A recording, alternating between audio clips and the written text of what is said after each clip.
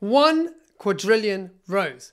That's how much data Tesla ingested while stress testing ClickHouse. That's 1 billion rows per second for more than 11 days. But as Tesla's Alon Tal explained at ClickHouse's open house conference, that quadrillion row test wasn't the real story. Tesla's actual challenge isn't just about big numbers. It's about reliability at scale across 30 million square feet of factory space, 70,000 employees, and millions of connected vehicles worldwide. Every sensor Every production line, every vehicle generates metrics that need real time monitoring.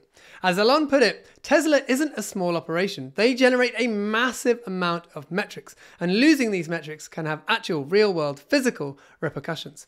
With that much on the line, Tesla needed a bulletproof observability system.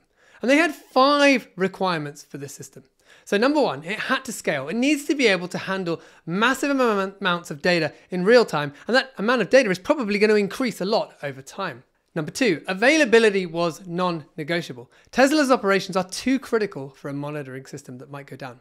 Number three, data retention. They need to keep data around for months and even years so that they can spot patterns and predict issues. Number four, flexibility.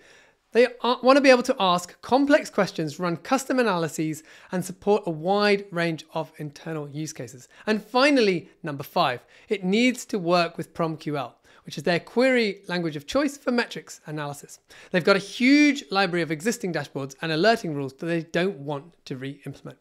Now, Prometheus seemed like the obvious starting point, but it couldn't be scaled horizontally and had limited ability to scale vertically, which ruled it out. After looking at several tools, they decided to use ClickHouse because of its performance and flexibility. They've gone on to build a system called Comet that has two pipelines. The first one is for ingesting data. So they've got open telemetry collectors sending metrics to a Kafka compatible queue, and then a set of custom ETL processes transform that data into batches of rows to ingest into ClickHouse. And then pipeline number two, on the query side, they translate PromQL into ClickHouse SQL to maintain compatibility with Grafana and their other alerting tools. And as far as anyone else is concerned, it's just the standard Prometheus environment. At the time of the conference talk in May 2025, Comet was ingesting tens of millions of rows per second. And when it comes to time series, Tesla had accumulated tens of billions of them, storing tens of trillions of samples.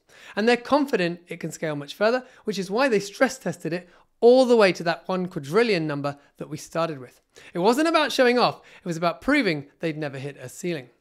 Tesla's observability story shows what's possible with ClickHouse. If you want to see another tech giant's approach, check out this video here where we learn how OpenAI built their observability platform.